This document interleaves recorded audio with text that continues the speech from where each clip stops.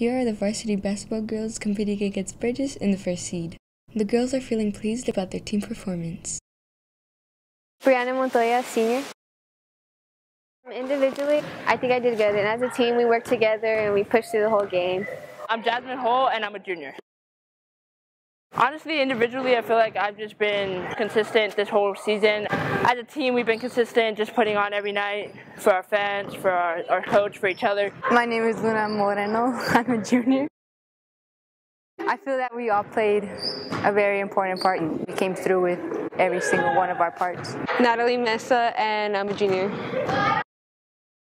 Individually, I think I've grown a lot from last year. As a team, we've all grown together and learned to play with each other. They are feeling excited about being able to compete against higher level teams in the area around. We have a really strong team, so I'm pretty confident, and we just have to stay true to us and what we do, and I think we'll be good.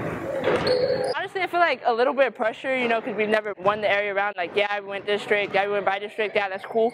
But, you know, you always want to push to be better than you were last season. Excited to see the more competition that there is out there and to see what challenges our team can go through. The team feels grateful about being able to win a trophy. Seeing them smile and everything is just, I love this team. I would do anything for every single one of them. It's a blessing to be a part of them. I knew that we can do it with all the talent and skill that we have on this team.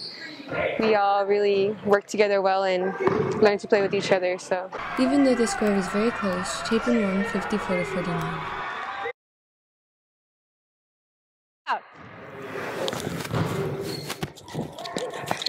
This is Disney Channel.